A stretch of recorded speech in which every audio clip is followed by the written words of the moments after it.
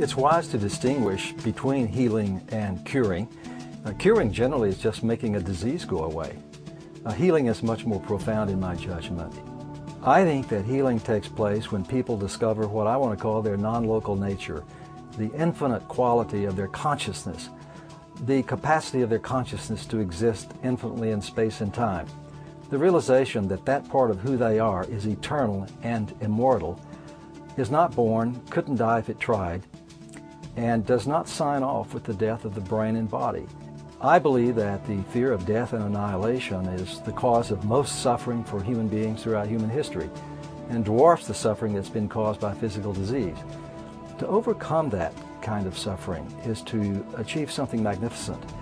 This, in my judgment, is what healing is all about.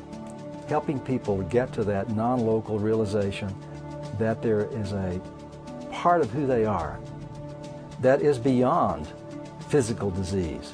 That's part of their endowment as human beings.